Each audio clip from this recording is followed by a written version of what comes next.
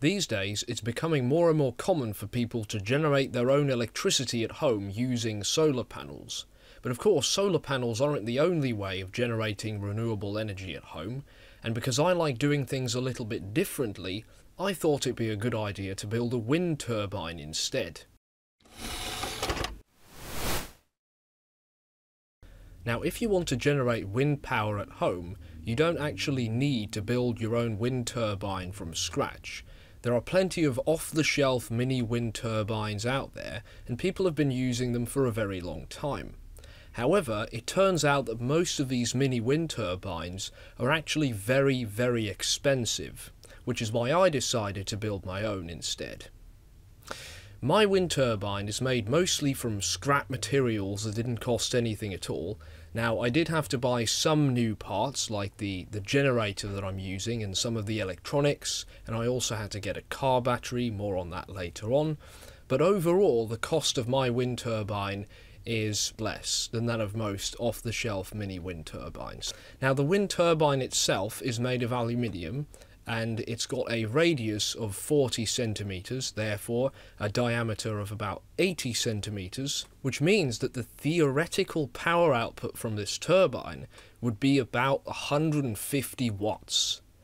Now, of course, my turbine is never going to generate 150 watts of power.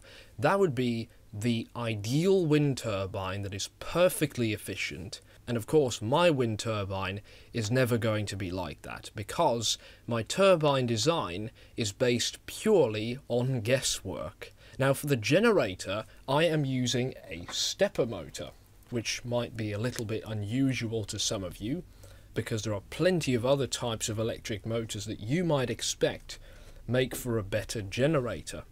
The thing is, lots of electric motors work great as generators, but most of these designs need to spin quite fast to generate a sufficient voltage for a purpose like charging a battery or powering something. And a wind turbine actually doesn't spin that fast, which is why I, I opted for a stepper motor, because a stepper motor can spin or can generate a relatively high voltage when spinning at relatively low speeds. I'm not using exactly this type of motor, it's a slightly different one, but it has the same size, it's NEMA 23, uh, and the data sheet for the generator that I'm using will be on my website. Now the generator outputs two-phase AC electricity which goes through some wires into the loft of the shed that is nearby. Here it goes into a two-phase rectifier which rectifies it into DC power which is fed directly into a car battery. The nice thing about this is that the DC output from the rectifier is somewhere in between 10 to 20 volts, which happens to be a very nice voltage for charging car batteries. So I don't need any kind of additional charging circuitry in between that. I can just feed the power from the output of the circuit directly into my car battery which is the storage system for my wind turbine. Now from this car battery we then have a cable that runs from this loft down into the shed uh, where I have a 12 volt output that I can then use to power all sorts of things that can run on 12 volts. So I can use it to charge the batteries for my electric scooter for example. Now you might be thinking why don't you add an inverter to it?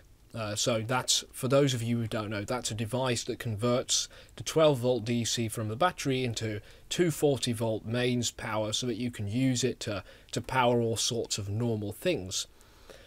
Well, the thing is, first of all, an inverter is expensive, okay, and then also, a lot of the things that I do require 12 volt DC, or at least low voltage DC power. Okay, so I build some kind of DIY contraption or I have my lithium ion battery charger or something like that and it needs 12 volt DC power. Lots of things that I do need 12 volt DC.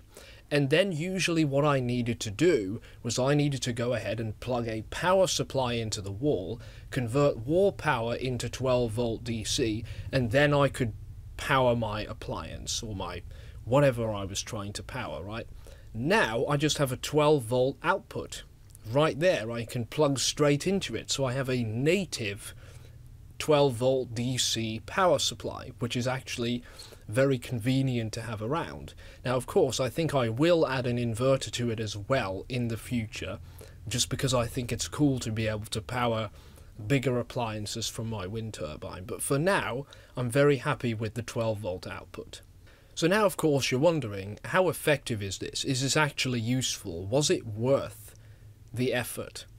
Well, first of all, yes, this kind of stuff to me is always worth the effort because I can make interesting videos out of it and I like doing this kind of stuff. So to me, absolutely yes. In a practical sense, I wouldn't recommend a wind turbine for most people. Uh, and it all has to do with consistency. You see, when you have a wind turbine placed somewhere in a very consistent flow of wind. So that is a wind turbine in a large open field or high up on a roof, like very high up on a roof, then a wind turbine is great because it can be consistently generating a reasonable amount of power. So for example, this turbine that I built out, is able to output about 10 to 20 watts of power when there is reasonable wind going through it. However, my wind turbine is not placed very high up. It's placed in the backyard in between a bunch of trees and some buildings, and so the wind is constantly changing direction, the wind speed is constantly changing, it's very turbulent, and so the turbine is not spinning all the time. It's not spinning fast all the time. It's spinning up and then it slows down again, then it stops and then it spins up again for a bit, but then it the wind turns so it stops again and so it's very, very inconsistent. So even though it's able to output a, a reasonable amount of power, because the wind is so turbulent and changes all the time, um, the average amount of power that it generates over, let's say, a day or a week is actually relatively low. So this is why, for most people, solar panels just make more sense because it's hard to get that consistency from a turbine. At a large scale, getting a good consistent output from a wind turbine is very easy because you can build a massive tower so it's very high up. You can put it in a very large open field or even in the sea, which is even better, of course. So at a large scale, wind turbines are fantastic, but at small scales, in turbulent areas, wind turbines aren't that great. So, in conclusion, if you want to generate your own renewable energy and you live in a massive open field or you have a very high building that you could put it on, uh, then a wind turbine could be a pretty good solution for generating power. Otherwise, a solar panel would probably be a more practical solution. But even though solar panels are the more practical and the wiser solution, uh, I would say the wind turbine is more fun, and it was definitely more fun to build than it would be to just install a solar panel on a roof. Anyway, that's my DIY wind turbine. I hope you've enjoyed this video, and of course, thank you for watching.